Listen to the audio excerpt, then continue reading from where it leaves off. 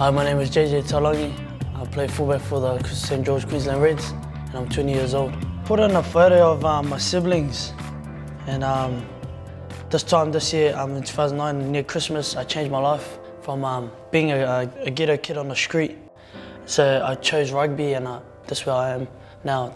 And I put this, uh, this is my two little brothers and then my little sister, so they're my motivation and the key of my heart. So I grew up um, not knowing what I'm gonna have in future. I kind of like took it the wrong way and lived every day as was my last. So my mum um, told me, uh, you know, what what do you what do you got to put on the table for your your siblings? And um, I was I'm the oldest in my family, so as the oldest, you always try and start up a, um, a pathway for your little ones to follow. So it um, made me think more about my future and how um, other people are affected by it. So, so yeah, I'm glad that um, rugby plays a big part of me now. So this photo means a lot to me and especially the year.